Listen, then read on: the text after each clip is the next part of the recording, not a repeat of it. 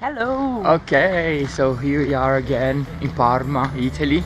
And today is the first Sunday of the month. Yes. And if you read our website, uh, you know that the first Sunday of every month here in Italy, all state-owned museums are for free. Yes. We are now particularly, specifically in Parco Ducale. So you can see all the trees around. It's a very, very beautiful park. We love here. Especially during spring. especially during the spring, yeah, when we've got the sun. And right in front of us, so you can see right there, if you um, swipe a finger and see right in front of us, we got the Palazzo della Pilotta, which is a complex. Uh, and inside the Palazzo della Pilotta, we have the Teatro Farnese, which is the Farnese Theatre, uh, the National Library, the National Gallery, and we are going now to the Teatro Farnese, Farnese Theatre, which is spectacular. It's really, really beautiful.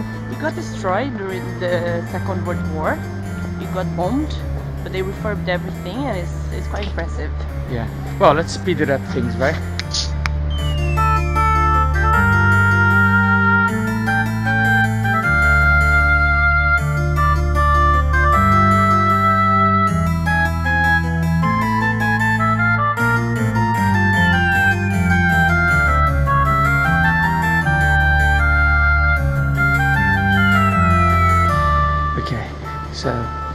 We're leaving.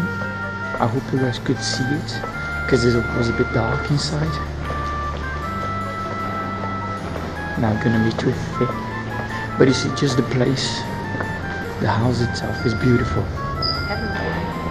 right there, just the house itself is really beautiful. Yeah, this is the palace, the palace from Maria Luigina. Lucia. Luigia.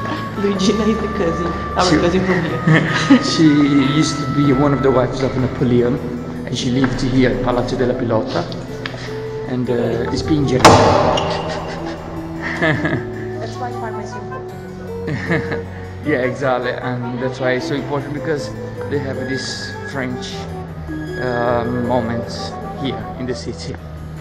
And this is the entrance of Palazzo della Pilotta. We're actually just above it, no, below it. There's always a musician here, which makes everything even more uh, Artistic. surre- yeah, because you're walking here in these very old buildings, and then you have someone playing classical music. It's quite cool. Yeah, so now we are surrounded by Palazzo della Pilotta and one of our favorite spots here during the summer.